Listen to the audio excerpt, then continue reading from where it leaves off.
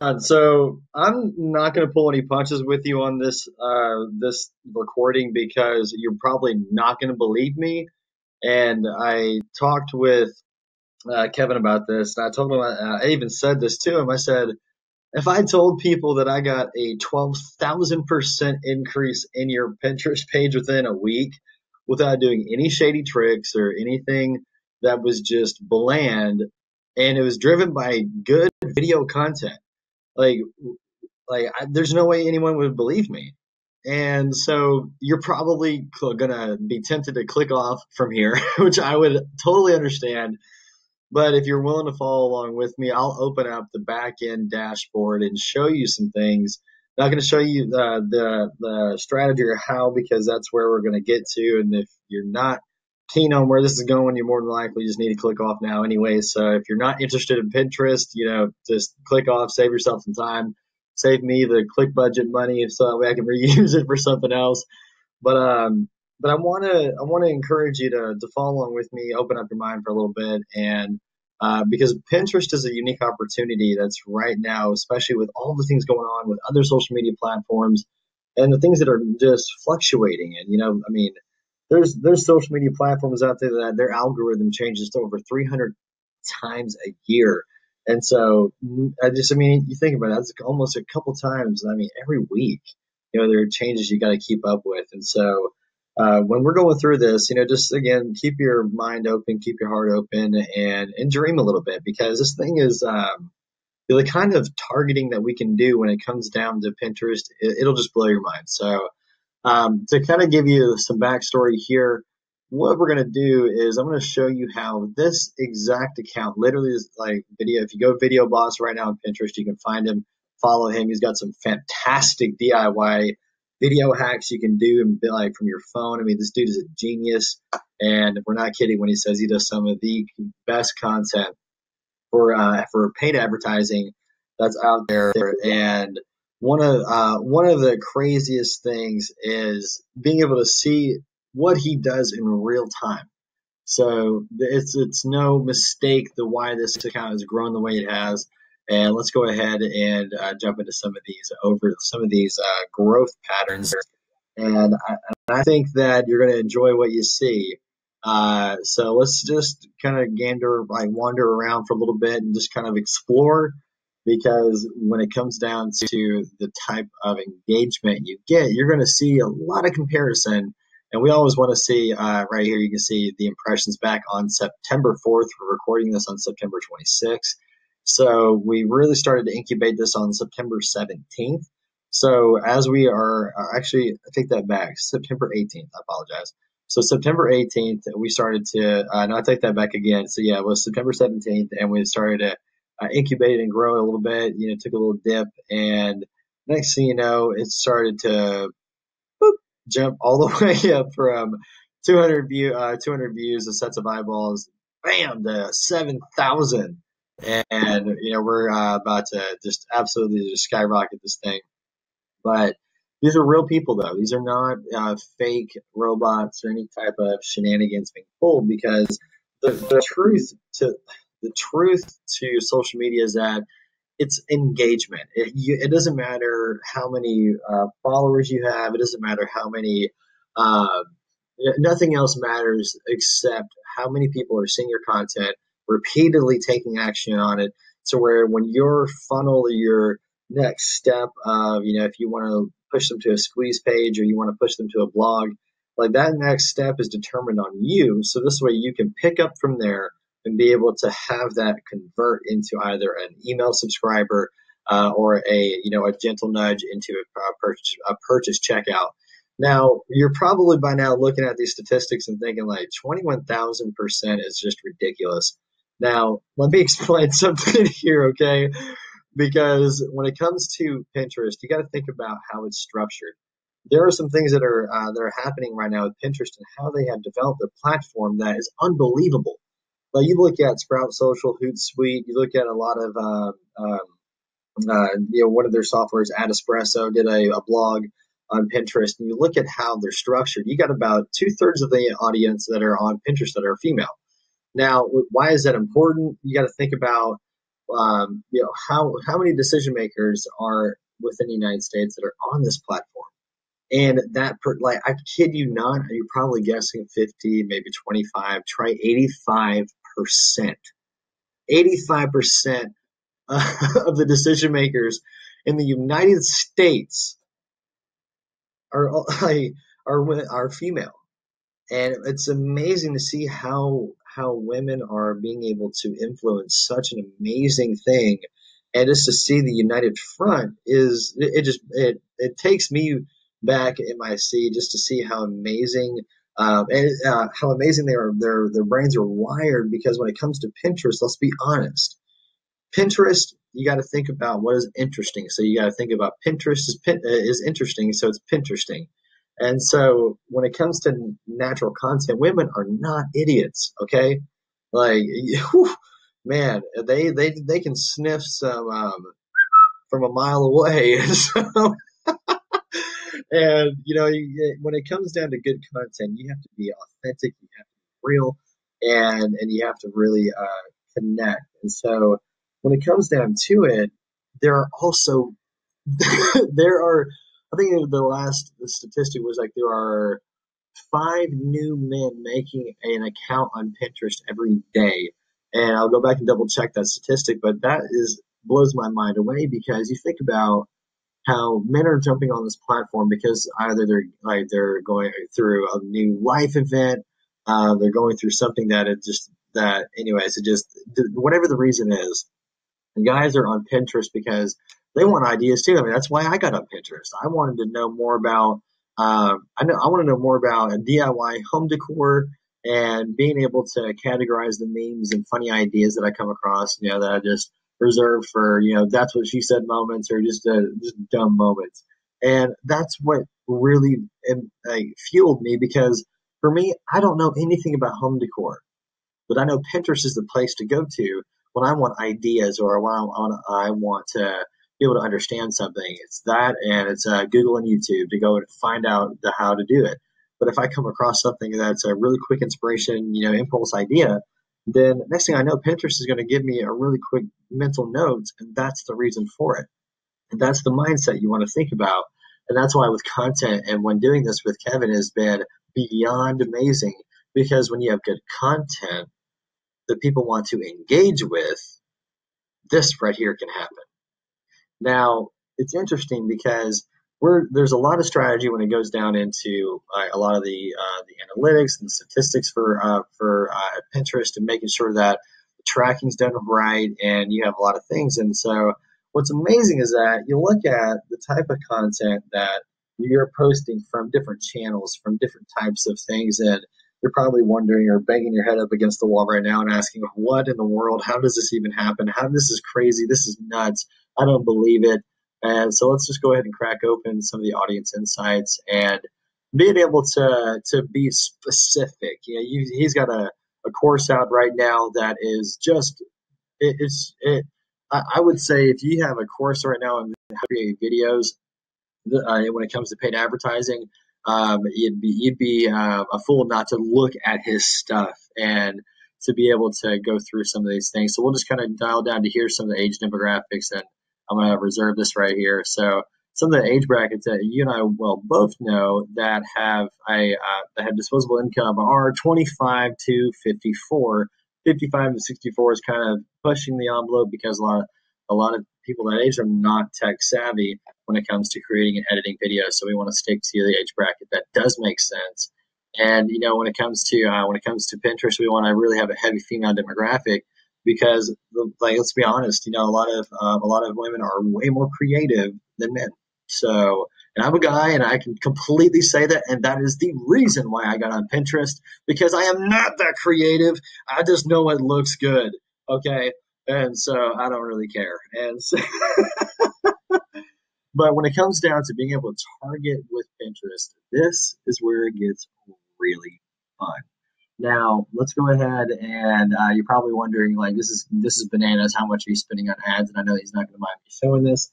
And this is all down to his specific strategy and knowing how to do it. And you can be uh, just don't make sure your jaw does not hit the floor when you see these numbers pop up. because I think that you're going to hurt your chin if you are not careful. Um, a little, there we go. And as you can see, that when it comes down to uh, products that are worth over five hundred to thousand dollars, that you know having that type of exposure and that type of growth in a short amount of time within Pinterest guidelines and regulations and being able to have that, your chances of being able to break even are pretty freaking awesome. So let's dig into just a, uh, a unique little, uh, just a, a demo uh, ad account. So this way, or ad campaign, so you can just see the depth. Okay, so it's unique because um, when it comes down to the targeting, we'll just come down here really quick. I just want to show you how how narrow this can go because if you're if you're looking in the right places, then you know exactly what you need to target. Now, if you're in real estate, if you're in any array of the home industry, if you are uh, landscaping, you know, home remodeler, if you are uh, if you're a chef, if you have a restaurant, you know, you can target down locally per zip code when it comes to Pinterest. And what's unique about it is that when you're going through, say, architecture, okay, yeah, you want to be able to have remember these different types of analytics over here when it comes to these audience insights, which are the stuff that I skipped over here. So I'm not going to show you this right here, but um, hang on one second when it uploads. I'll just scroll down here. But there's the data that's up there in the audience insights right here. You have categories and interests. So then we use that for this category and the interest.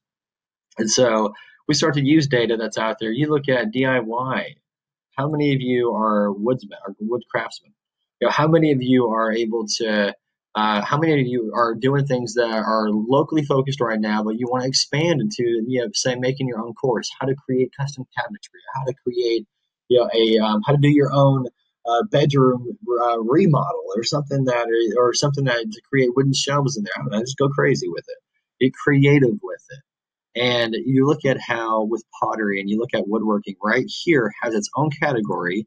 And then you look at wood projects and woodworking techniques, and there's your answer for something that you probably had no clue that was even possible on Pinterest. And that's just one combination.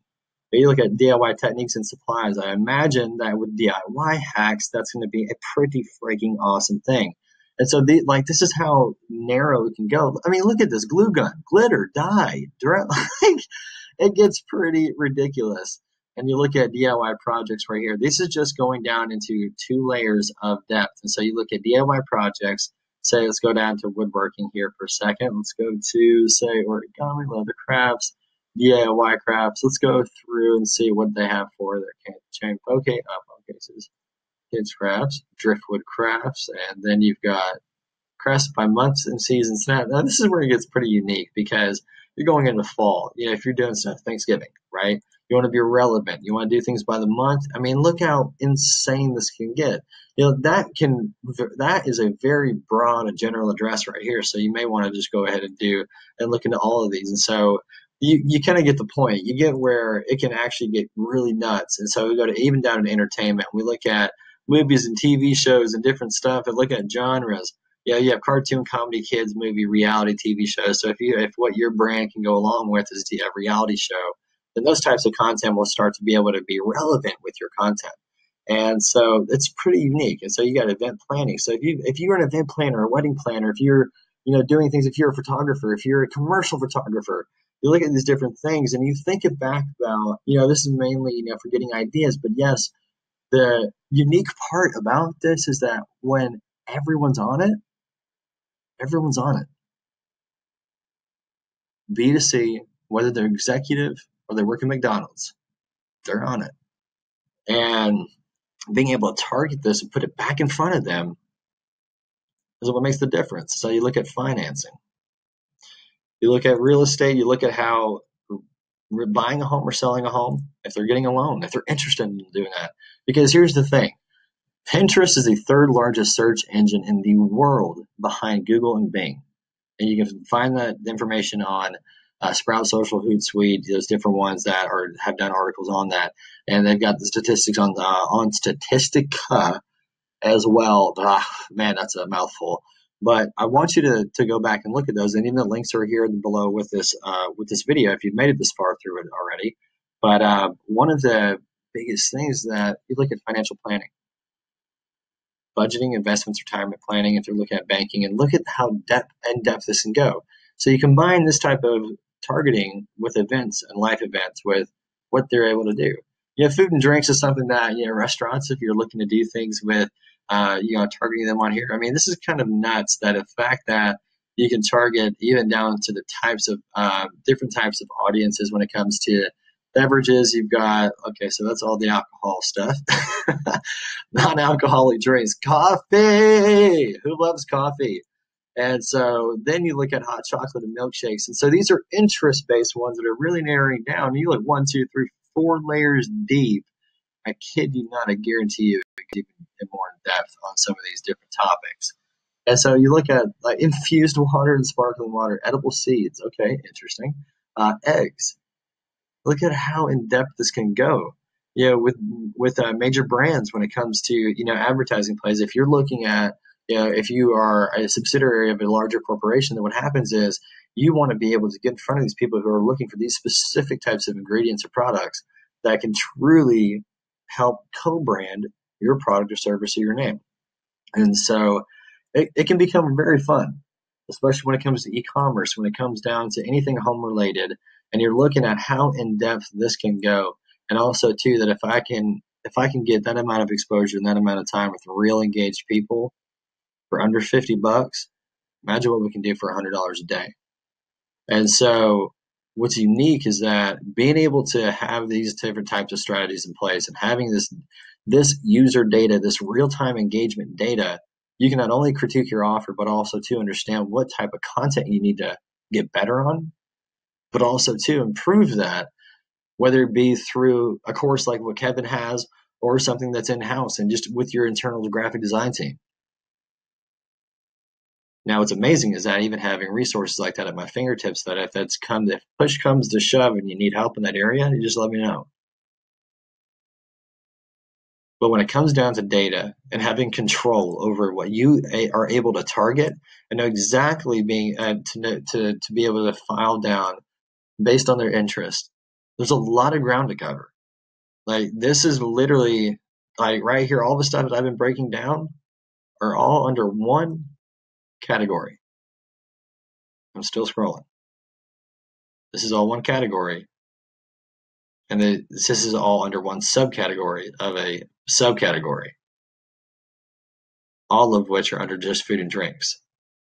And you can see here in the parentheses that every subcategory, there's 28 subcategories just in that.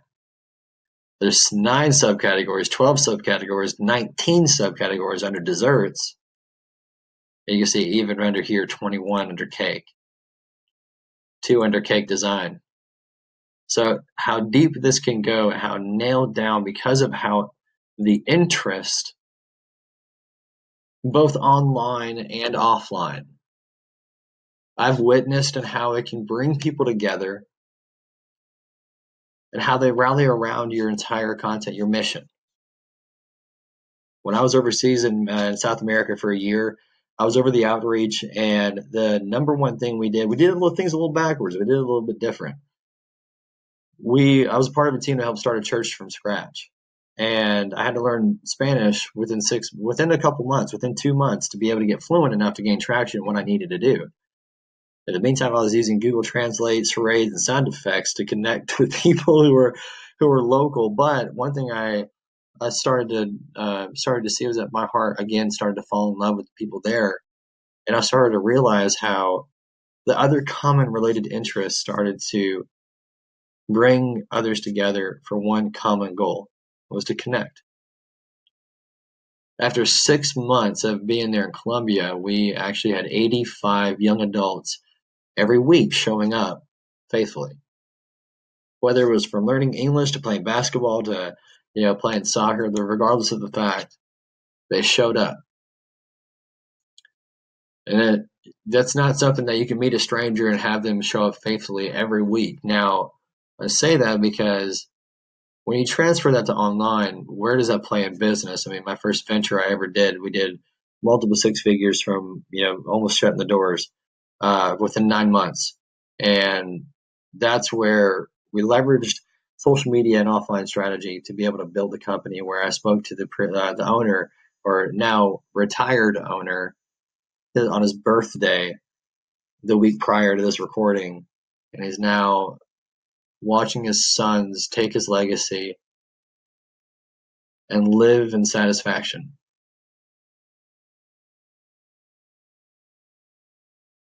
You do have a message to say, and you do have an audience out there waiting.